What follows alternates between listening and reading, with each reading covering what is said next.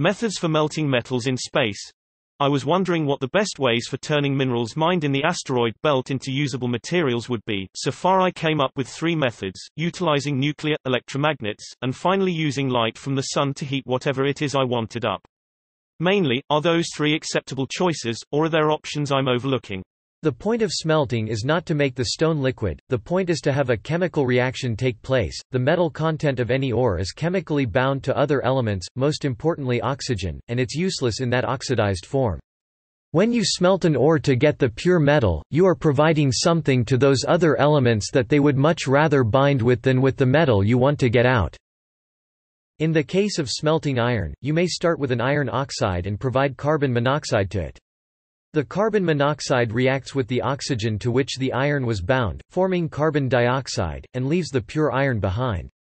The carbon monoxide is formed by burning coal within the smelting oven, making sure that you don't add too much oxygen. You cannot have this reaction take place, unless you are supplying the carbon monoxide. As such, smelting iron, for example, must always be done by burning coal. You may have unorthodox ways to procure the coal and oxygen, but in the end you must have the carbon monoxide together with the ore in a chemical reactor, which we typically call a furnace.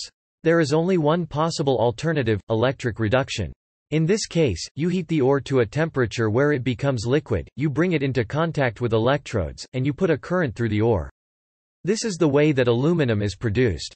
Unfortunately, it takes a lot of electric energy energy that would be provided by the carbon monoxide plus oxygen reaction in the smelting process, and works well only if you can find an electrode material that won't react with the oxygen, other elements that you want to remove from the ore. For instance, if you use a graphite electrode with an oxide ore, the produced oxygen will quickly eat away your electrode.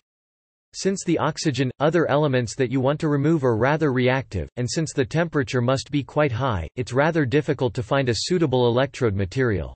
Hash hash hashtag edit. As Adrian Colomitchi correctly pointed out in a comment, there is actually a second alternative, turning the ore into a plasma and doing mass spectroscopy on the ions. Very energy intensive, with a massive waste heat problem, and I believe too hard to scale up to significant throughputs, but it's a possibility that could be considered.